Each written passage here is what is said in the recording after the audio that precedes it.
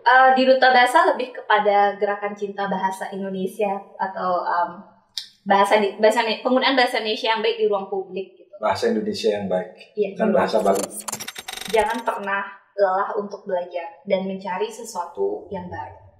Karena sekarang belajar itu bisa di mana aja. Bisa dengan apa saja, bisa dengan siapa saja.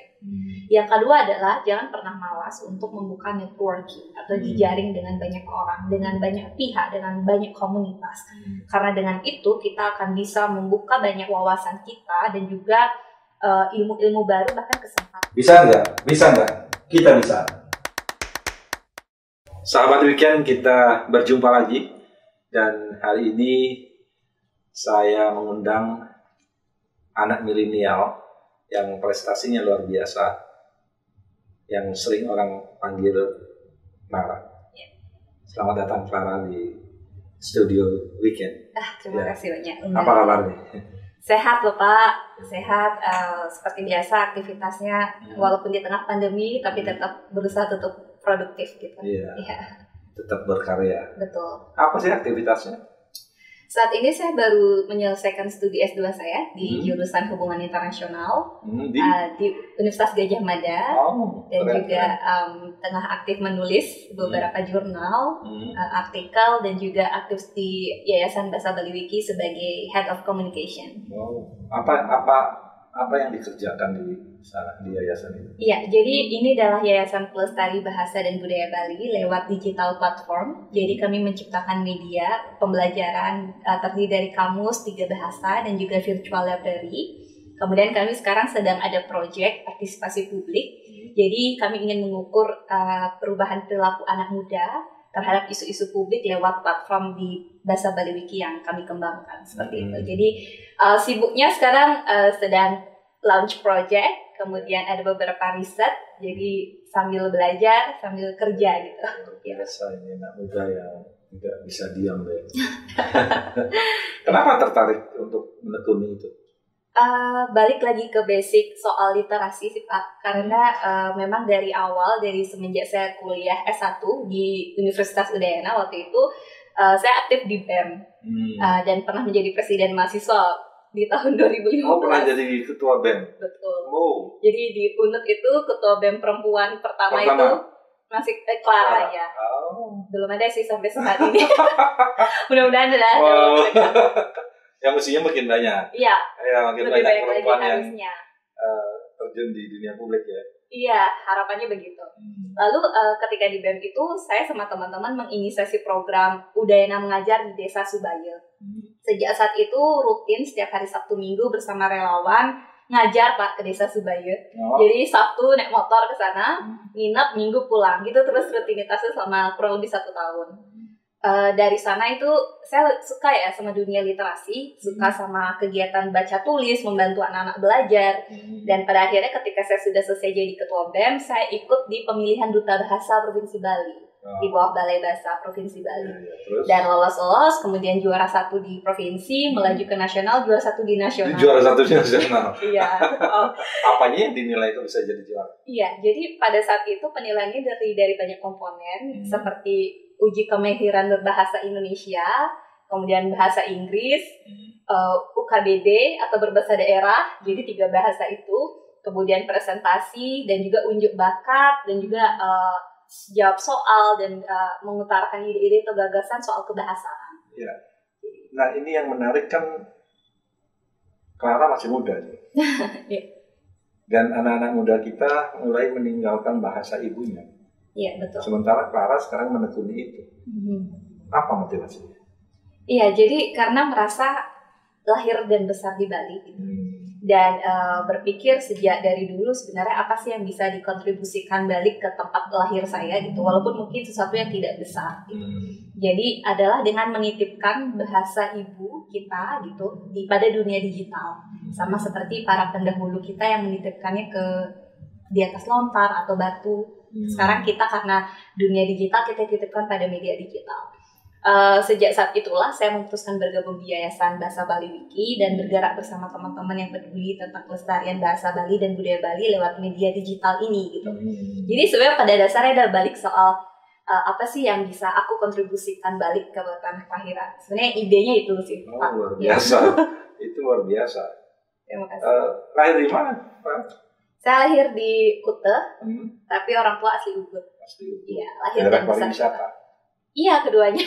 Ah, biasanya daerah pariwisata orang pastinya bahasa Inggris. Iya. Ini kok malah terjun ke, ke bahasa daerah. Iya. Walaupun basic keilmuan saya nggak ada Nggak ada hubungannya dengan hubungannya dengan bahasa Bali. belajarnya politik. Belajar politik.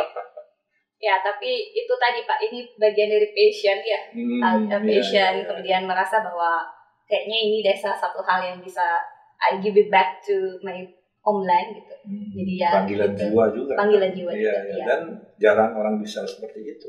Mhm. Dan saya memberikan apresiasi nih, anak muda yang luar biasa. Terima kasih. Nah, eh, background pendidikan Mhm. Clara apa? Saya S1 di jurusan hubungan internasional di Udayana. Iya.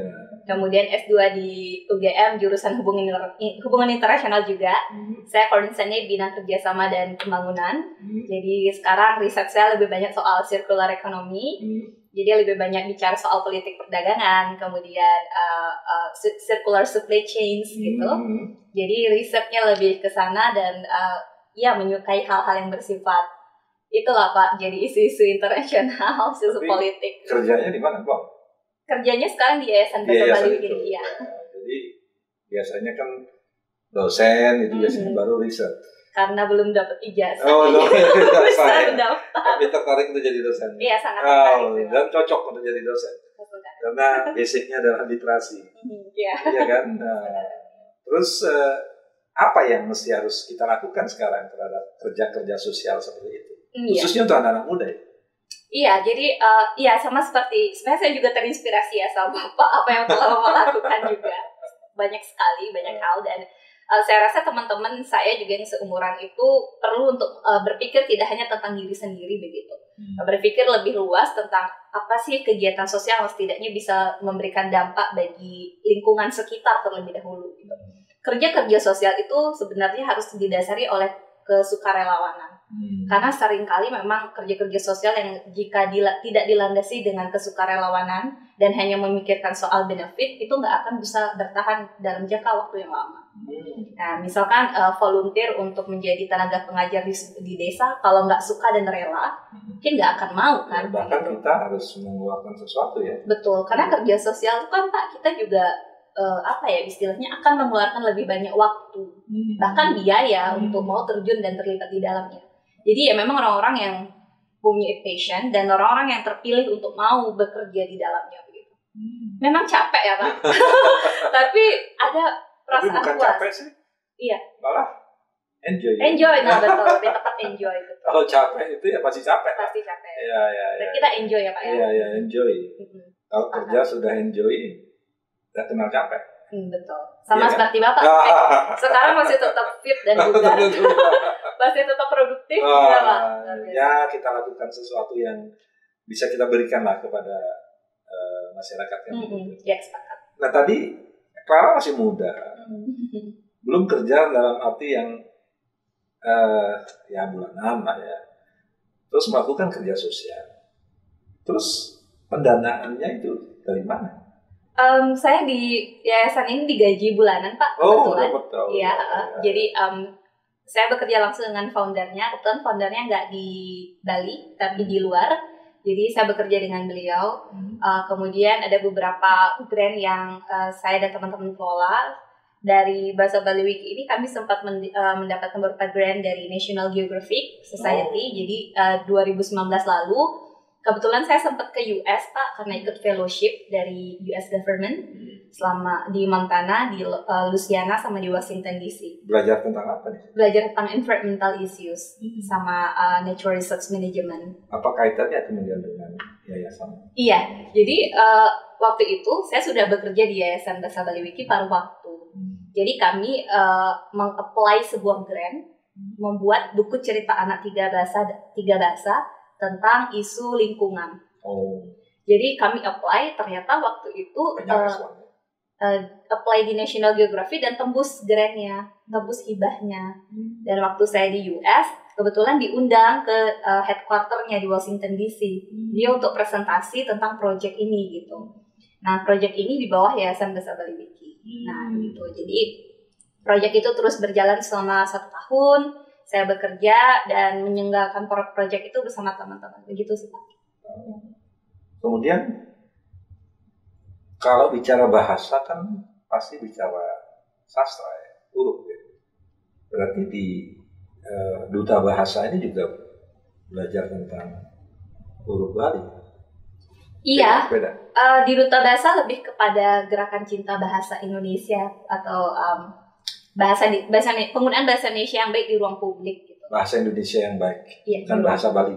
Ya bahasa Balinya di Yayasan Bahasa Bali Wiki. Hmm. Jadi ber, dua lembaga dua hal yang berbeda. Betul. Nah, kalau di bahasa Bali, kalau ya. di bahasa Balinya, termasuk huruf Balinya. Termasuk huruf Balinya. Betul. Bisa nulis Bali.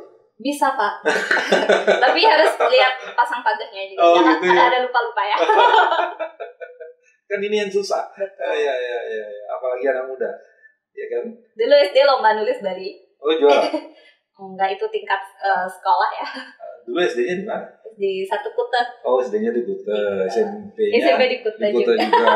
SMA Semua di Kuta. Di Kuta juga. Uh, SMA saya di Denpasar. Di SMA. Di SMA Dwi Jendra Denpasar. Oh di Dwi Jendra juga kan kecenderungannya juga kan uh, iya ya ya ke itulah ke Sastra budaya, budaya. sastra budaya. Tapi saya nggak info ya sastra budaya dulu SMA.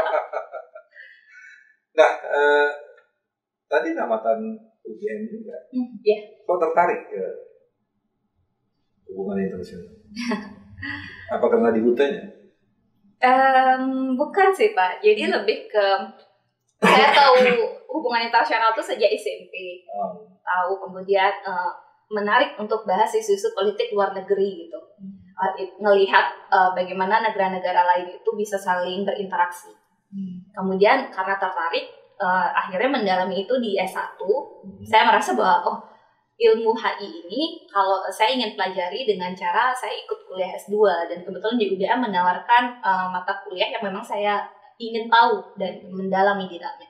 Dan sejak di UGM, S2 dan kuliah, saya rajin ikut penelitian, riset-riset, nulis-nulis. Hmm. Jadi semakin suka gitu, yeah. semakin mendalami. Oh ternyata menyenangkan untuk tahu bagaimana negara saling berinteraksi dan bagaimana masyarakat sipil itu bisa ber, uh, bereaksi terhadap isu-isu luar negeri, isu-isu internasional gitu. Ya jadi ya mungkin bapak paham sekali ilmu HI itu kan semua dipelajari yeah.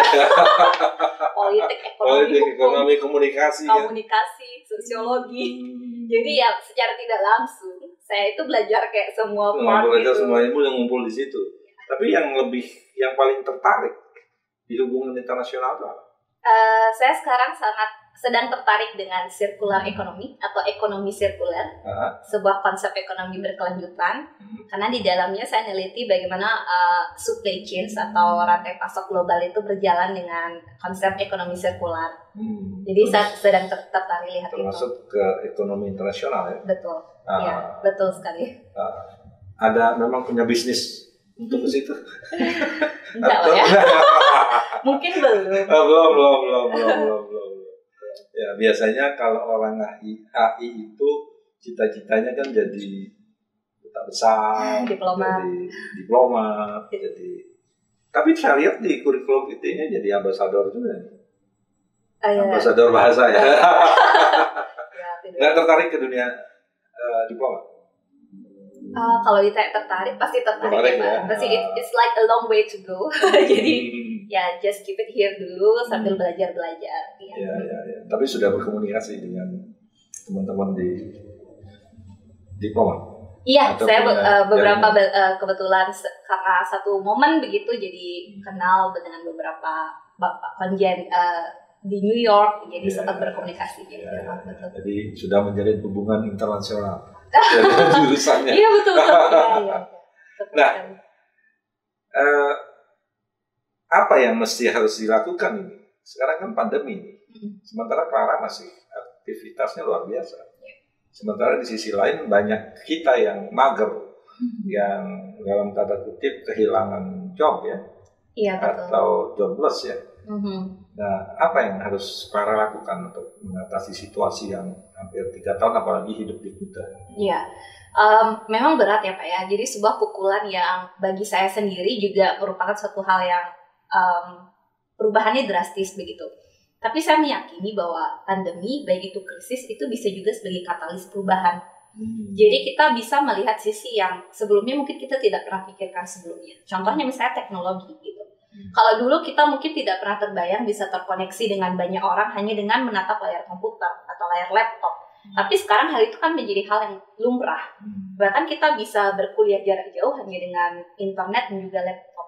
Jadi kita terbiasa dengan uh, teknologi yang memudahkan hidup kita. Hmm. Itu kan ber, uh, sebuah hal yang terjadi karena adanya pandemi yang membuat kita terpaksa harus stay at home. Tapi yang saya lihat justru banyak sekali kesempatan terbuka ketika pandemi itu Pak yang bisa kita akses secara digital atau secara uh, dengan teknologi.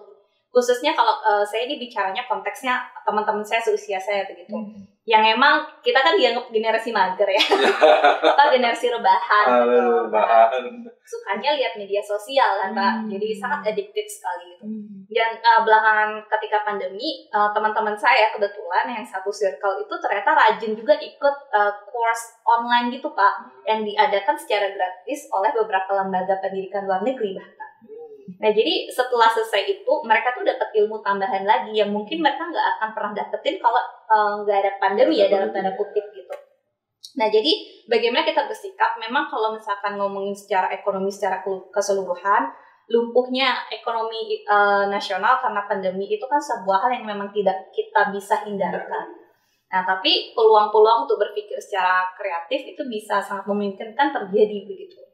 Uh, contohnya adalah uh, semakin waktu pandemi orang-orang pada diam di rumah kan ya pak ya. ya, ya, Jadi mereka akan berpikir untuk uh, membuat hal sifatnya kreatif gitu. Hmm. Misalnya dengan mendaur ulang barang-barang atau sampah-sampah yang ada di rumah menjadi barang yang lebih berguna gitu. Hmm.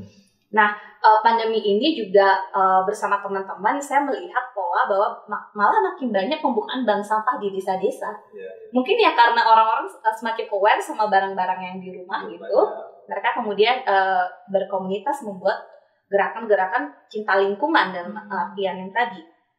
Jadi ya mau tidak mau hmm, perubahan ini akan tetap ada kan Pak ya. Kita nggak tahu apa yang akan terjadi beberapa tahun ke depan. Hmm. Tapi yang penting adalah bagaimana membuat diri kita itu bisa uh, tetap eksis hmm. dengan berpikir tetap positif hmm. dan mencari uh, kreativitas kreativitas gitu. Hmm. Sekarang kalau ditanya ide kan ide bisa dari mana aja ya Pak ya. Kita buka HP bisa dapat ide ya jadi nggak ada kendala atau nggak ada apa ya nggak ada halangan sih untuk itu. Ya, ya, ya. Mm-hmm. Tetapi bagaimana itu bisa membangkitkan anak-anak muda kita? Tapi pemikiran ini kan pemikiran yang luar biasa. Tetapi bagaimana ini menjadi pemikiran kolektif? Mm-hmm. Kan harus ada cara. Itu para punya cara. Misalnya dengan teman-teman atau punya kelompok-kelompok atau punya lembaga-lembaga atau organisasi-organisasi yang ikuti. Iya. Nah. Saya meyakini Pak, satu cara yang paling bisa sangat bagus itu adalah dengan memperluas network. Nah. Saya nggak pernah nyangka saya bisa ketemu Bapak loh sekarang ya. Kalau nggak saya datang ke Cerkes Bapak kemarin kan. Aneh kan kemarin saya mending diam aja di rumah, tidur di rumah, ya? nggak ketemu Bapak. Ah. Hal-hal itu kan kita nggak bisa dapatkan kalau kita tidak membuka uh, jajaring kita kan iya, Pak ya. Dan kalau misalkan orang aduh saya nggak malu dan sebagainya, jejaring itu sekarang bisa dibuka hanya dengan bermedia sosial, hmm. iya kan? Jadi nggak ada hak nggak ada alasan untuk tidak berjejaring. Hmm. Makanya saya se, uh, sering pak uh, diundang mengisi uh, sebuah acara dengan adik-adik mahasiswa. Yeah. Saya bilang, uh, ya kesempatan kuliah S1 ya kesempatan emas gitu. Hmm. Kamu bebas untuk menentukan pilihan mau ngapain. Hmm. Kamu bebas untuk menentukan kamu mau bergaul dengan siapa kan pak. Uh jadi saya ngerasa bahwa aktivitas saya di BEM dulu itu membuat saya kenal dengan banyak, banyak orang, orang. Hmm. yang sekarang itu berpengaruh gitu loh. Ternyata oh ini temennya ini ternyata ya, saya ya. punya temen di sini gitu. Jadi informasi itu kan bisa tersalur dengan lebih cepat gitu. Iya itu makin sempit. Iya betul sekali. Ya, ya. Nah jadi itu pak yang saya yakini tadi caranya adalah dengan um, memperluas jejaring kita. Hmm. Ya itu. Dalam hal apa saja? Dalam hal apa saja? Ya oke. Okay. Terus uh, aktivitas hmm. yang paling menonjol saat ini yang Clara tekuni apa? Yayasan itu? Iya di yayasan itu dan juga uh, saya sedang mau menulis pak ya untuk menambah portofolio. Kalau-kalau nanti ada kesempatan mengajar, jadi saya sedang uh, punya beberapa riset uh, sama teman-teman. Itu uh, tentang apa? Uh, risetnya tentang ini Pak tentang perdagangan internasional. Jadi uh, sedang menulis itu. Kebetulan saya juga sedang punya draft buku. Aduh, ini sebenarnya nggak mau dibilangin karena oh, harus dibilang lah.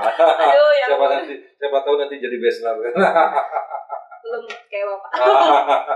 tentang studi gender, kebetulan saya tertarik dengan isu-isu feminisme, hmm. jadi sedang belajar lah Pak ya, pelan nah, kita nulis. Gitu. Saya juga lihat tuh, ini Clara kayaknya ini pejuang perempuan ya. ya. Apa yang harus dilakukan para perempuan? Aduh, saya suka bahas ini. uh, ya, balik lagi Pak ya dulu cerita soal saya jadi ketua BEM perempuan pertama hmm, itu kan stereotipnya iya, keras luar biasa luar biasa itu. saya kan, kayak mendobrak tembok ya, ya itu layak dapat penghargaan ya.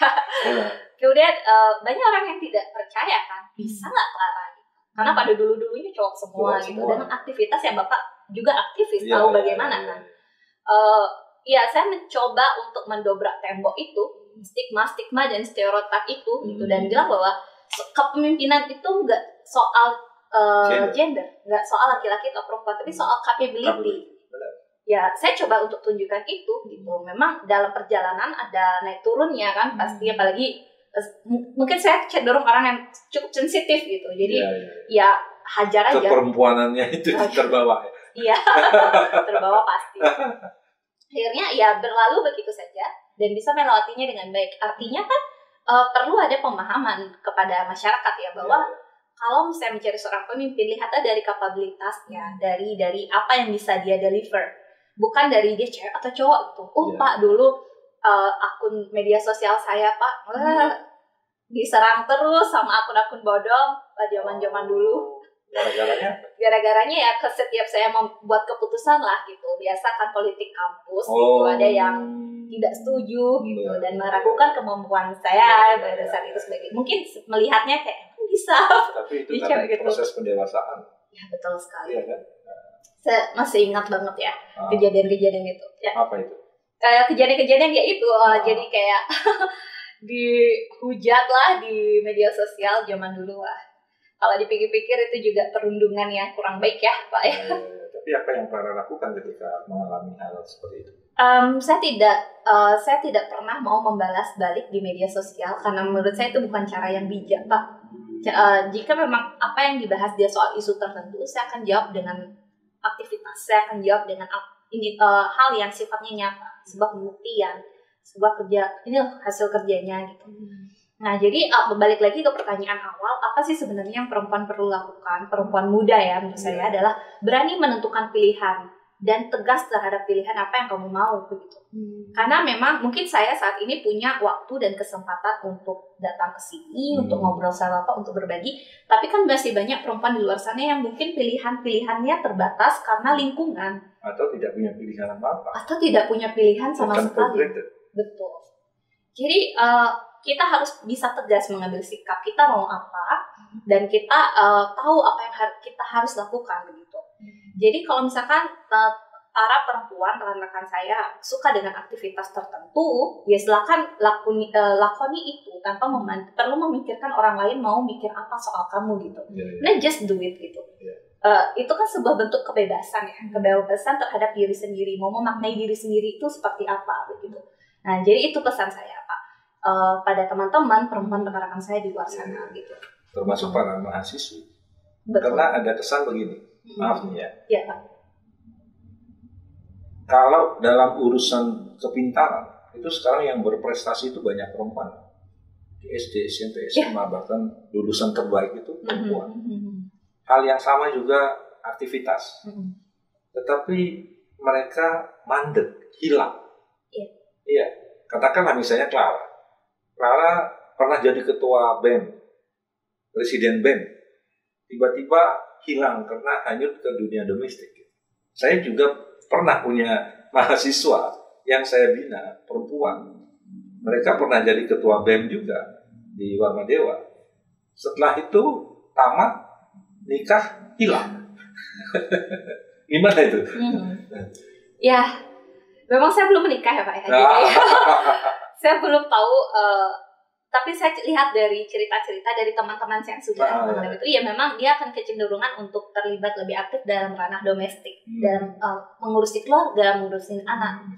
Tapi yang saya lihat bu, um, tidak serta merta mereka menurut saya tenggelam begitu saja pak. Mereka ternyata punya uh, another way untuk menunjukkan diri mereka begitu. Hmm. Uh, saya uh, jadi misalkan dulu orang A aktif, kemudian sekarang dia aktif sama ilmu parenting gitu misalnya. Ah, jadi ada penyaluran ya? Iya, tetap ada penyaluran hmm. gitu.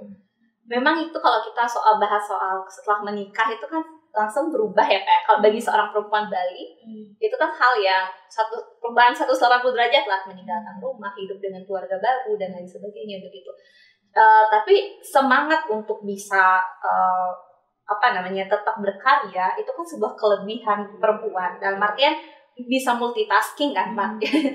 mengurusi anak kemudian menjalani hobi dan lain sebagainya gitu ya jadi um, mudah-mudahan ya semakin banyak uh, teman-teman perempuan sana atau ibu-ibu yang merasa bahwa uh, pada akhirnya nanti ketika ranah domestik menjadi prioritas mereka mesti tetap punya waktu untuk menyalur, menyalurkan hobi ya, atau kesenangannya mereka. Ya paling tidak apa yang dia tekuni itu itu akan membekas gitu ya. ya. Dan entah dalam bentuk apa kan gitu. Betul. Karena ini kan proses, gitu. proses menjadi. Ya. Uh, kalau menurut kalian seperti apa? Proses menjadi itu sebuah hal yang mutlak menurut saya Pak. Mutlak kan. Setiap tahun, setiap jejak langkah itu kan sebuah proses ya Pak ya. Ah. Dulu saya juga merasa bahwa eh, nggak uh, pernah nyangka kalau hidup saya itu ketika mahasiswa lah contoh ya hmm. uh, akan seperti itu gitu hmm. lebih banyak di student center hmm. di jalan dan sebagainya tapi itu setelah setelah berlalu saya menyadari oh ini proses pendewasaan saya ternyata gitu. Hmm. pada akhirnya sekarang saya bisa melihat orang dari banyak karakter kan. Ya, dan bisa ya, memahami. Ya, uh, kita misalnya uh, misalnya bapak yang sudah aktivitas lama kita bisa melihat karakter orang dan kita bisa berpikir untuk tidak serta merta menjudging kan judge orang. Ini hmm. kok gini sih gitu sebagainya. Kita bisa berpikir ulang gitu. Jadi ya proses itu mutlak menurut saya dan proses itu kan bagian dari belajar pak ya. Karena hmm. saya yakin hidup itu kan belajar tiap hari gitu. Hmm. apalagi sekarang dunia itu ada dalam genggaman kita. Betul. Menurut Clara apa yang harus dilakukan anak-anak muda kita dengan gadget ya? Yeah.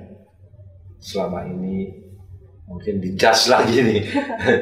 Uh, bikin orang uh, rebahan aja gitu Mm-mm, apa, apa untuk anak-anak mudanya apa? Orang di sini banyak ilmu, betul. Banyak pengetahuan, banyak peluang yang bisa kita ambil. Mm-hmm. Uh, harus bisa melihat bahwa gadget itu sebuah anugerah ya kan uh. yang yang harus disyukuri keberadaannya. Yeah, yeah, yeah. Uh, kita harus bisa memanfaatkan itu dengan sangat baik begitu. Uh, mencari informasi, kemudian uh, mencari networking tadi, dan kemudian bisa mengaktualisasikan diri. Uh, saya kan cukup aktif di media sosial, Pak ya. Iya, Mungkin yeah. Bapak juga.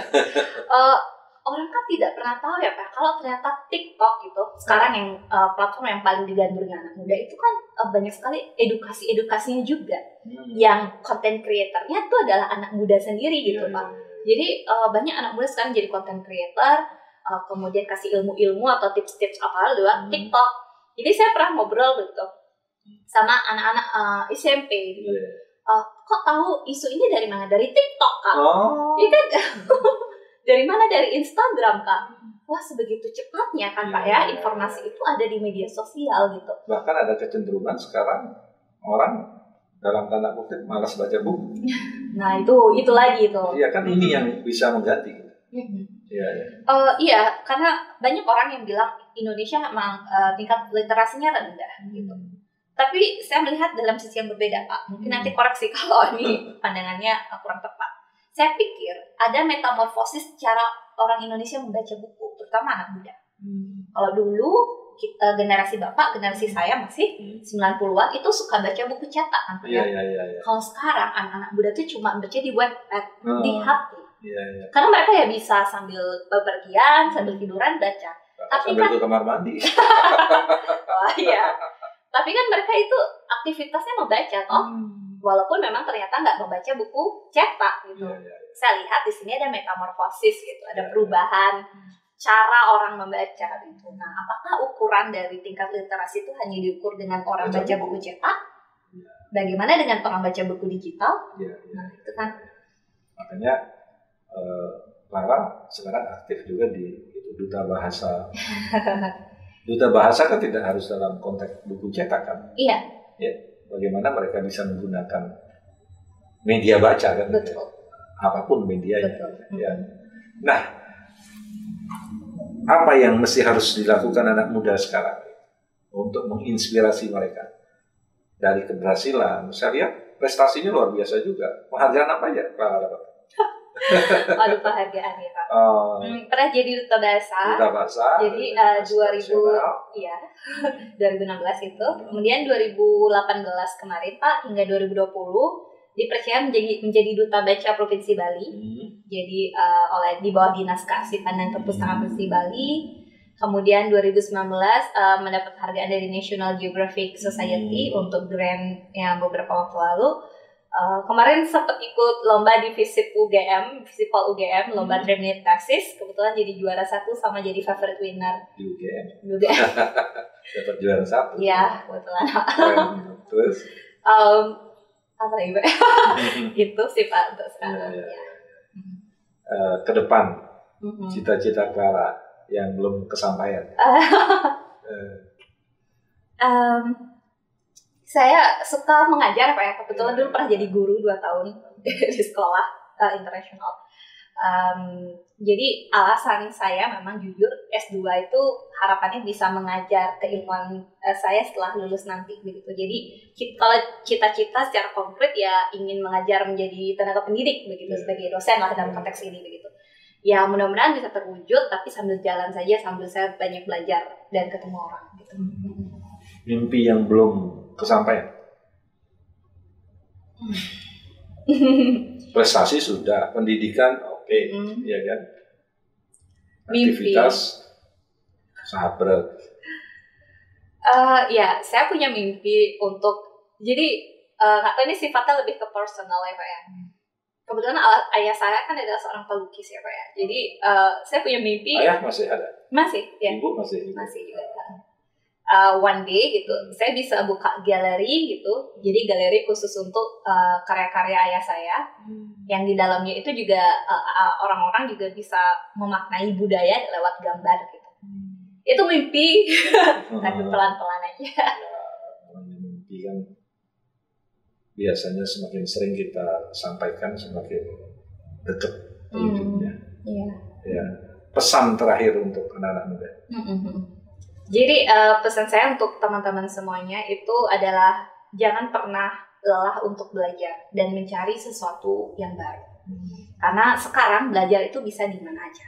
Bisa dengan apa saja, bisa dengan siapa saja. Yang kedua adalah jangan pernah malas untuk membuka networking atau jejaring dengan banyak orang, dengan banyak pihak, dengan banyak komunitas. Karena dengan itu kita akan bisa membuka banyak wawasan kita dan juga eh, ilmu-ilmu baru bahkan kesempatan. Dan yang ketiga adalah uh, berpikir untuk menciptakan perubahan. Gitu. Seringkali kita berpikir uh, kalau misalnya kita udah sibuk kerja, kita lebih cenderung untuk melihat ke, ke diri kita sendiri. Kan? Tapi wa- walaupun begitu, uh, perubahan bagi lingkungan itu perlu untuk diinisiasi dengan cara menciptakan perubahan dari diri sendiri dulu deh. Gitu. Misalnya contohnya dengan uh, lebih peduli sama orang, lebih menghargai keberadaan orang gitu jangan cuek atau jangan merasa bahwa kita hidup sendiri gitu karena kan Hmm. pada dasarnya kita makhluk sosial yang memang Iya, iya. selalu berinteraksi jadi tiga itu tadi pak jadi eh, jangan pernah lelah belajar eh, memperluas networking dan menciptakan perubahan Ya. Wow, keren. terima kasih pak Kalau semua bisa melakukan itu, saya yakin anak-anak muda akan tidak sulit meraih prestasi. ya betul. Ya. Terima kasih Clara. Terima kasih. Banyak sudah bapak sampai ke tempat ini dan sudah memberikan inspirasi bagi anak-anak muda kita dan kita semua Mhm. bahwa sebuah prestasi yang diraih itu adalah sebuah proses ya. Betul proses. Dan proses itu pasti perjuangan. betul. Ya. Mm-mm. Oke, terima kasih ya banyak. selamat berjuang terus. Semangat untuk mewujudkan mimpi Clara. Ya, terima kasih. Sahabat weekend, demikian obrol santai kita hari ini dan kita jumpa lagi dalam kesempatan yang lain. Terima kasih.